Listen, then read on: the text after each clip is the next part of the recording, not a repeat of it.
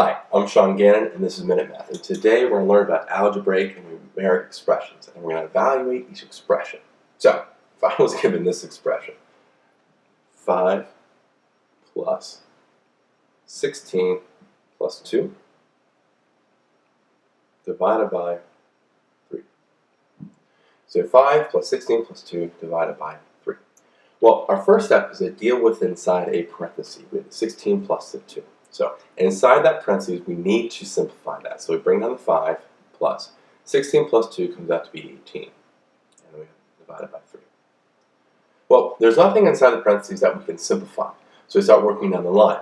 Exponents, none. Multiplication division, well, we have division.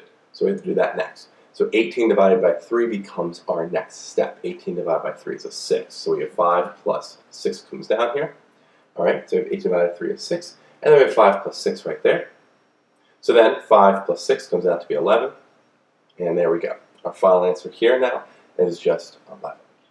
So let's recap. We're given 5 plus in parentheses 16 plus 2 in parentheses divided by 3.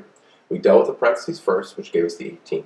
Then we had to divide by the 3. That was our next step, which gave us a 6.